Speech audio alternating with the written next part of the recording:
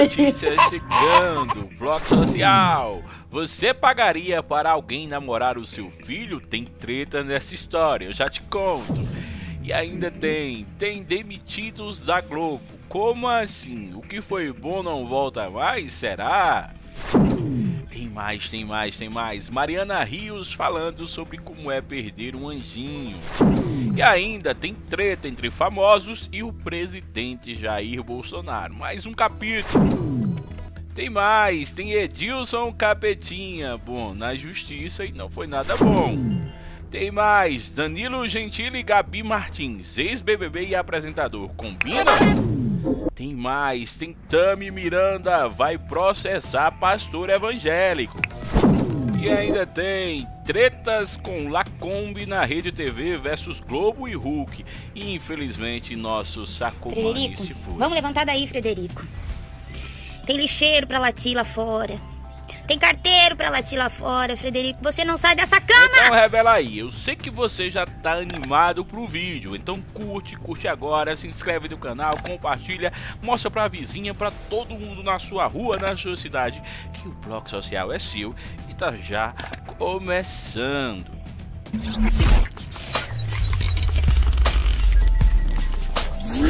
Oi gente, e aí, tudo bom com você? Se tá bom, já sabe, curte, comenta, compartilha, deixa seu recado, porque hoje tem muita treta e tem polêmica. Vamos começar com o Luiz Ernesto Lacombe, recém-contratado da Rede TV. Bom, as polêmicas dele na Rede TV ainda não começaram, mas ele deu uma entrevista para o Léo Dias do UOL e falou, como assim? Ele disse que ele na TV Globo não daria certo. Por quê? Por quê? Por quê? Porque a Globo tenta derrubar o governo a qualquer jeito, fazendo matérias e algumas vezes erra feio nas mãos. Ele também falou sobre a Band. Ele foi um tanto quanto boicotado no aqui na Band. Ele espera que isso não aconteça na Rede TV. Ele também falou sobre o Luciano Huck, candidato à presidência da República. Ele diz que acredita que o Luciano Huck não vai sair como candidato. E se sair, ele vai torcer para o Luciano perder, já que, segundo ele, o Luciano joga com a esquerda, joga com a direita, joga com todo mundo e o Luciano Huck, segundo ele, não tem perfil para presidir o Brasil. O que é que você acha? Vai dar treta da Rede TV, sim ou não?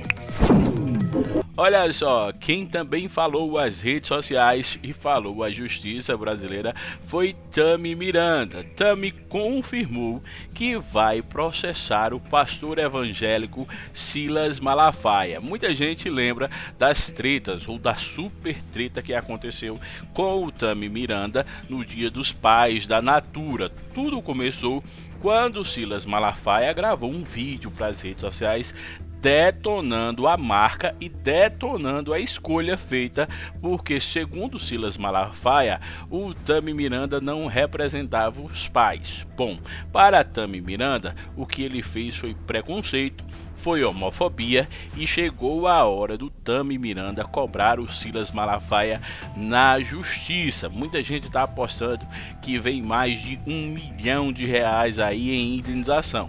Bom, se muita gente sabe ou não sabe, Silas Malafaia é um dos cinco pastores mais ricos do Brasil.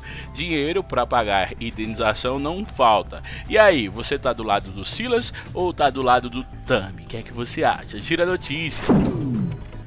Olha só, Gabi Martins, ex-BBB, e Danilo Gentili estão se conhecendo. Tá rolando um certo clima aí nas redes sociais e parece, dizem alguns fofoqueiros de plantão, que também na intimidade. Tem gente que diz que não, que não aconteceu nada. Mas fãs do apresentador e fãs da ex-BBB dizem que ele não combina com ela, que eles não se combinam. Bom, eu acho um tanto quanto diferente, mas ambos têm aquela coisa da energia, da simpatia, das brincadeiras. Eu acho que combina. Bom, nas redes sociais, no Instagram dele e dela, muita gente, muitos haters estão bombardeando, torcendo para que esse relacionamento não dê certo. Bom, a gente já falou que o Danilo Gentili vai ter mais espaço no SPT, vai começar mais cedo em 2021. Será que ele agora vai tá acompanhado da sua primeira dama Gabi Martins, sim ou não? Você diz que eles fazem um belo casal? Sim ou não? Gira a notícia, mas deixa seu recado. Já o ex-jogador Edilson Capetinha recebeu uma decisão desfavorável em um processo judicial. A Justiça Trabalhista de Salvador decretou o arrombamento e a troca da fechadura de um imóvel do comentarista por conta de um processo. Essa informação é do site G1.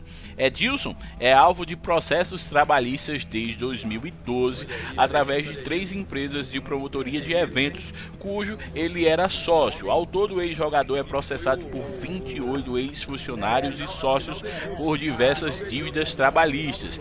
De acordo com o mandato expedido em 13 de agosto, os bens foram encontrados no imóvel, devem ser guardados pela Justiça num prazo de 30 dias. Em 2017, Edilson foi convocado em uma audiência de conciliação com seus ex-funcionários e o cálculo na época da dívida era de quase 9 milhões de reais. Entretanto, o jogador sequer apareceu na ocasião. Um bom, bom, bom dinheiro eu acho que ele tem para pagar. Será? Não será? Comentarista super famoso no Palmeiras, na seleção brasileira, no Corinthians. Até hoje a torcida do Flamengo adora o jogador bom. Dá um jeito, né, Edilson? A gente fica torcendo por você para dar tudo certo com seus institucionários. Hum, mas vamos continuar nas tretas. Dessa vez vários famosos foram às redes sociais cobrar o nosso amado presidente Jair Bolsonaro sobre os cheques que sua esposa Michele Bolsonaro recebeu de Fabrício Queiroz, cerca de 89 mil reais. Tudo foi causado por uma treta, como todo mundo sabe. Segundo Luciano Huck, quem deveria dar exemplo ao país ameaça de porrada jornalista que apenas faz seu trabalho no domingo, quando poderia estar com a família em casa. Tentar calar a imprensa é buscar esconder o que é de interesse público, autoritário e nada democrático. Por quanto tempo nervosismo. Bom, Caetano Veloso também participou, muita gente participou nas redes sociais, mas como você sabe, aqui você é quem manda e aqui você é quem diz. Esses cheques de 89 mil reais escondem alguma coisa? Sim ou não? Você acha que a primeira-dama e o presidente da República devem explicações à sociedade, devem falar à sociedade sobre esse assunto abertamente, sim ou não? Qual sua versão, qual sua opinião sobre esses cheques? Qual sua opinião sobre essa história? Os famosos estão certos ou errados? Sim ou não? Hum, vamos falar de Mariana Rios, uma das atrizes, cantoras mais simpáticas e queridas do Brasil. Ela deu uma entrevista à revista Marie Claire e falou essa semana como foi sofrer o aborto do seu primeiro filho. Ela contou o passo a passo, desde o planejamento com o marido até a gravidez e, infelizmente, os sonhos que ela teve com um irmão já falecido há muitos anos e que deixaram ela com a previsão de que essa gravidez não daria certo. Segundo ela, primeiro me permiti sofrer, viver o luto e depois enfrentar. Mas deixei ir. Não fico presa no sofrimento. Automaticamente comecei a pensar no porquê de passar por aquilo. Espiritualmente falando, sou espírita, mas não é sobre sofrer, não é sobre religião. Acredito que para evoluir a gente precisa passar por essas coisas e algumas vão ser tristes. Infelizmente, agradeci a oportunidade de ter me tornado mãe de um anjo, com muita tranquilidade do que tinha feito na minha parte interior. Também entendi que o fato de querer muito um filho um dia pode me levar a ter. Muita gente tem torcido pela Mariana Rios, ela ajudou muitas mães do Brasil. Quando tem um relato aqui no Facebook, blog social, tá na descrição, ela falou sobre todo o processo de como foi ter engravidado, como foi ter perdido o filho e ter aprendido crescido com essa chance. Hum, Hum, é crise na Globo, sim ou não? Bom, muita gente diz que sim, muito mais gente diz que não, mas essa semana a Globo não renovou os contratos das autoras de Verão 90, um dos maiores sucessos dos últimos tempos no horário das 7 horas. Isabel de Oliveira e Paula Amaral foram muito sucesso. A novela que elas fizeram bom, arrebentou na audiência, muita gente comentou.